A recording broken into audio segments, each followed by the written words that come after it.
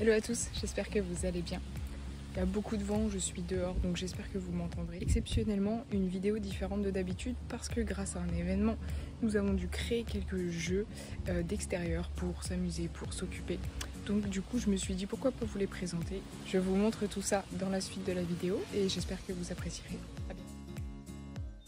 Ici, on est peut-être plus sur un jeu pour enfants.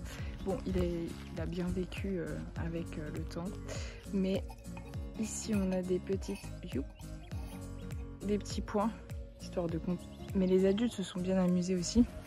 Et ça, en fait, c'est tout avec rien, puisque c'est juste des bouts de bois, des, des boîtes de conserve, de la corde. Ça, c'est des cache-pots. Et puis les balles du coup à lancer. Euh, voilà, c'est simple bout de chaussette, bout de corde là. Et puis bah, du coup, on lance dedans directement.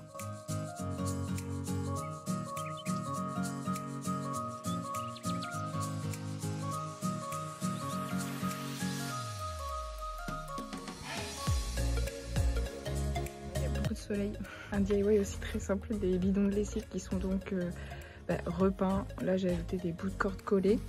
Et le but c'est donc d'attraper, euh, de s'envoyer la balle en deux personnes. Et ici c'est avec des toutes petites balles refaites. Alors là autant vous dire qu'elles sont restées dehors et j'aurais peut-être pas dû les laisser. Euh, mais pareil, c'est un jeu qui a... Celui-là je crois que c'est celui où les personnes ont moins joué. Mais honnêtement il est très facile et avec les enfants, les adultes, quand on aime jouer ça marche automatiquement. voilà, de le mettre dans un petit panier, euh, un peu de paille. Enfin, tout réjouir, il n'y a pas grand chose à faire pour que, pour que ça fonctionne et que ça aille dans la déco aussi.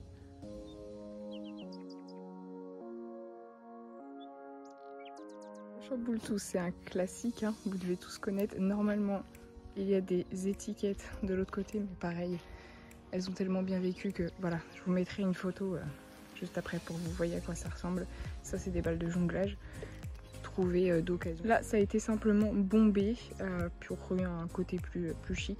Les étiquettes, je les avais imprimées à l'aide de Canva, découpées, collées tout simplement avec du scotch. Du coup, c'est pour ça que ça n'a pas beaucoup tenu, mais voilà, après, c'est à, personnaliser à chaque, chaque événement en plus.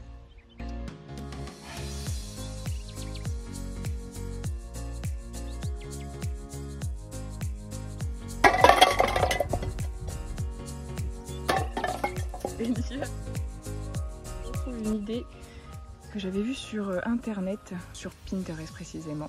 Je trouve toujours des belles idées et euh, j'avais voulu la reproduire.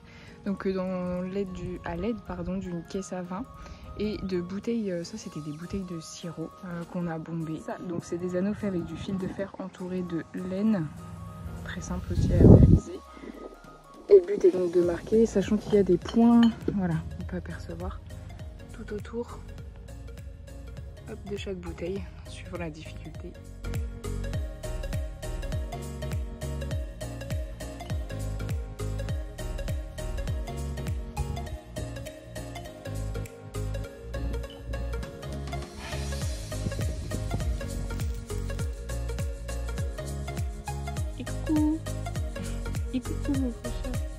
J'espère que vous avez apprécié. N'hésitez pas à me dire dans les commentaires si vous aimez ce genre de vidéo.